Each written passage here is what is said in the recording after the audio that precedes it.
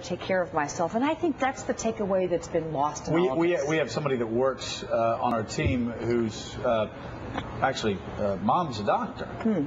Who said this is the beginning. This is the first sign of rationing. This is, you know, well, maybe we don't call it It is rationing. rationing. It's definitely but, but, thi- rationing. this is the first time, you talk about the death panels, forget the death panels, but this is rationing saying, okay, we could do this, we could save some lives, it's just not worth the money. No, it is rationing. Let's be clear, but you've heard me talk about rationing for a long time.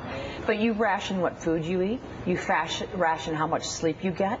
And this is saying we should question about how we spend our health care dollars. And if it isn't prudent to irradiate that many women in Well- their 40s, and you take that money and you say, okay, let's find something better than mammography, which isn't great anyway.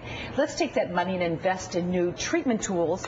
Then that to me is smart health care rationing. Oh, I totally agree with you, but